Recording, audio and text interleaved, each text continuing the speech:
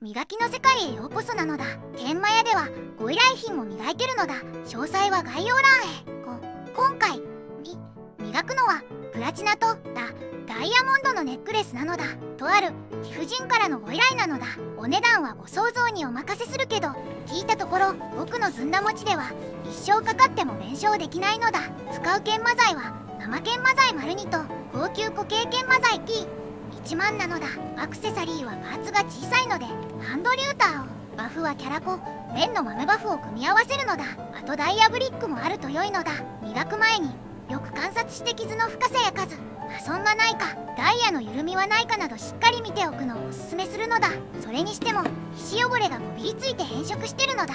保管方法も割となのだ。ネックレスやピアスは顔に近い位置だから日焼け止めやファンデーションヘアオイルなどがつきやすいのだ。人の汗は酸性だから金属によって溶かしてしまうこともあってそれが原因で金属アレルギーになってしまう場合もあるから外した後は拭いて保管するのだ。それでは始まるのだ。最後まで見ていってほしいのだ。ポイントはミルーチといってシルエットの縁にもデザインが入っているから強くバフを押し付けすぎるとミルーチかっこ丸い山が消えるのだ。研磨剤がついたバフは放置するとカチカチなのだ。ダイヤブリックはバフをほぐしつつ研磨剤を落とすのだ。いわゆる砥石で削る作業なのだ。研磨剤は使う前に必ず振ってほしいのだ。成分は油と水アルミナやシリカの粉だから容器内で分離してしまうことがあるのだ。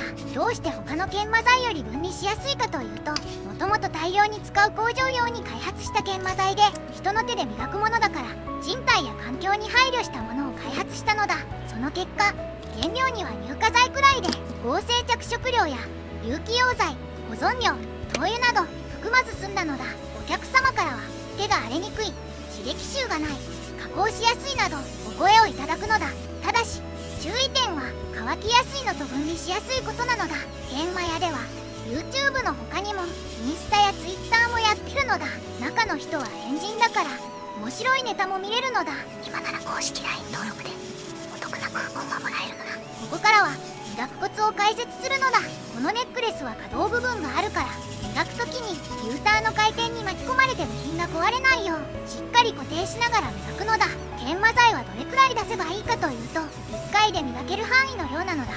例えばこのネックレスだと持ちにくいしパーツも小さいから米粒1つ分が目安なのだ。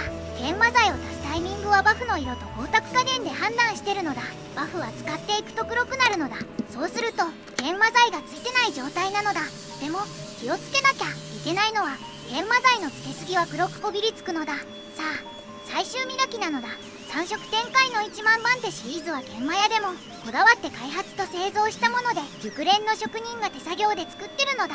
粘度が高く深みのある光沢感が出るのが特徴で金属の他にもチタンやプラスチックの研磨にも適してるのだ。成分はアルミナで粒子は丸めにしているから削りすぎを防ぐのだ彫金師や歯科技講師さんレジン作家さんなどから人気があるのだ。プラチナは実はサビや変色などほぼない。無敵の金属だけどとても柔軟性があって柔らかい素材なのだ。柔らかいということは表面に圧がかかると削れやすかったり傷がつきやすいということなのだ。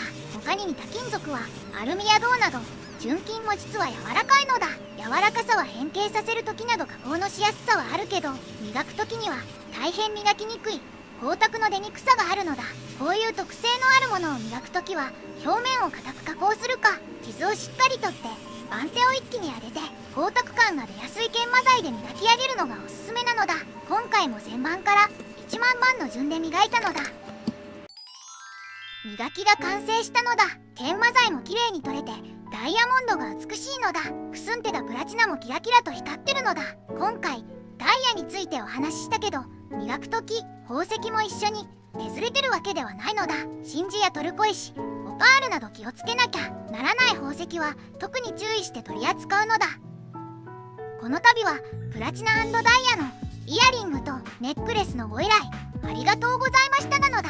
撮影のご協力もいただきとっても感謝してますなのだ。輝きを取り戻した綺麗な子たちをぜひ身につけてくださると嬉しいのだ。またのご依頼お待ちしてるのだ。サンキューユーフォアウォッチング。